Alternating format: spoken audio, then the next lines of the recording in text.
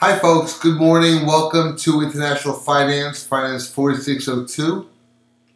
My name is Dr. Mitchell Miller. I'm proud to be leading you in this course. Please post your introductions. Look forward to meeting each of you.